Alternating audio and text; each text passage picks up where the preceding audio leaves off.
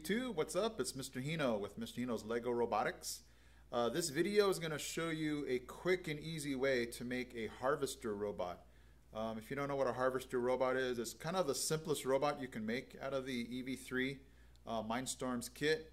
Something real simple and fast if you just want to get some things done. Uh, color sensor. It does, uh, the harvester does use an ultrasonic sensor. I'm not using that right now. So today's build is just a quick, short, simple harvester robot with just a color sensor. So let's go to the parts you're going to need. All right, everybody, these are the parts you're going to need for your harvester robot. Um, you know, depending on your needs, especially if you're going to use that ultrasonic sensor, you may need more parts to it. But I'm just using the color sensor, so that's all I'm building for. So here we go. Um, obviously, you need your brick, two of your large motors, for cables, I have two of the 10 inch, one of the 14 inch cables. Two of these L pieces, they can be white or gray, doesn't matter. Three of these, what I call the H pieces, your two wheels. Um, these beams are actually your seven beam. Uh, right there, your seven beam. Um, three of your gray squares. Two of these bushings to go on the ends of the tires uh, blue piece here, your ball and caster. Uh, this is actually an 11 hole beam. Okay, 11 hole beam. And I have 15 black connectors. Okay, so those are all the parts out of the 541 pieces in your core kit that you would need to make this harvester robot. So let's go get this thing started. Okay, I'm just going to go quickly step by step. I took the two motors and then I put the two seven uh, size beams inside the motors. Okay, next I put the tire on the seven size beam, put the gray bushing at the end just to keep the tire on, on both sides. Okay, next I'm going to take one of my gray squares and put in four black connectors on each side. And then what I'll do is I took the gray square and basically connected it into both motors on either side.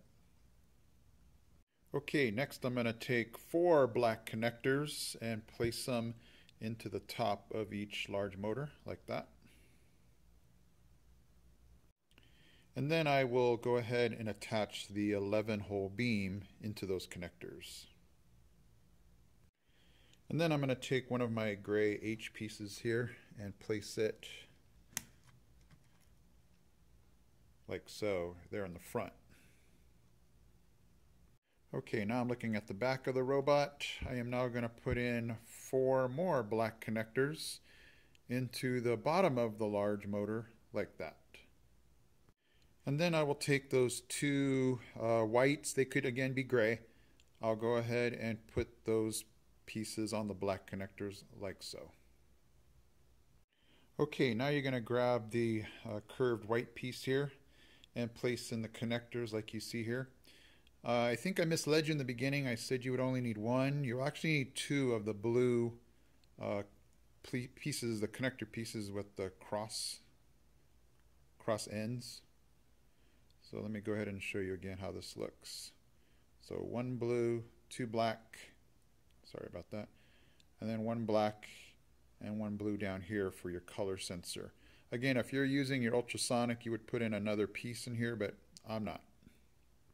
And now you're going to go ahead and slide on the color sensor just like that.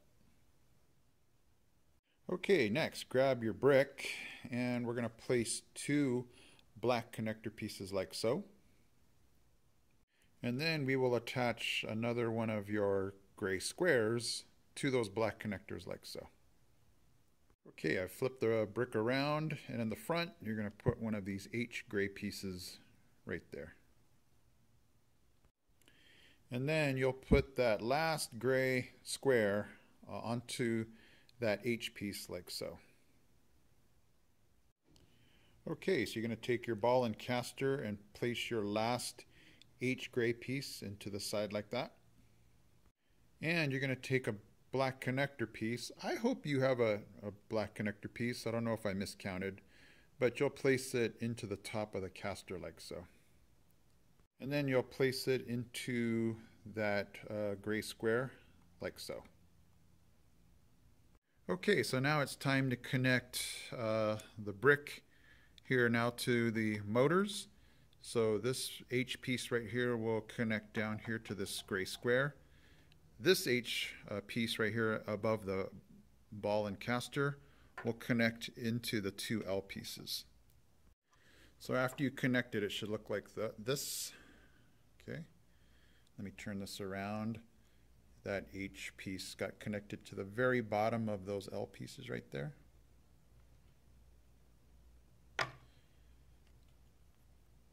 I am ready now to attach this uh, white arm piece. I'm going to connect these three connector pieces to the three holes right here. So it'll look like so. And that color sensor is at the perfect uh, height. And now I'm ready for my cables. So again, these two 10 inch cables uh, will go into B and C. And then this cable here will go into the color sensor, this uh, 14 inch cable. All right, everybody, here's your finished product. Again, this cable from the color sensor is going back here to port three. And then the two motors will go into B and C.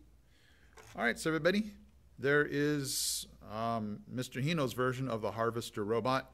If you wanted to put your ultrasonic sensor, you could put it on right here on this arm. But again, I'm not using it at the moment. So this is just the Mr. Hino's color sensor version of the Harvester robot. All right, you guys, I hope uh, everything was clear and easy to follow. I apologize if I was off on my count on those connector pieces, but I'm sure you guys are smart enough to follow along. And there you go, the Harvester uh, Lego EV3 robot. All right, everybody, thanks for watching. I am Mr. Hino with Mr. Hino's Lego Robotics. Uh, thanks for watching.